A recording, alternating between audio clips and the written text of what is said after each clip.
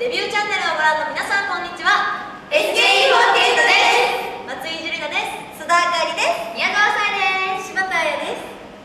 大山さなです古畑直です。はい私たち SKE48 のニューシングル「不器用太陽」が7月30日に発売されました。あかりこの曲ですごく好きなフレーズがあるんですよ、はい。なんでな2番のサビ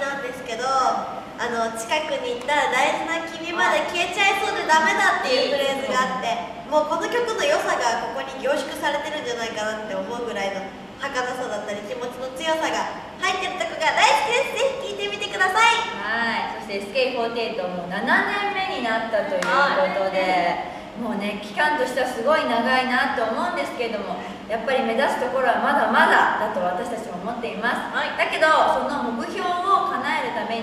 を目指すということに、すごい悪いことは一つもないことだと思うので、今こうやってご覧になってる皆さんも絶対目標を叶えてみせるっていう気持ちを忘れず、に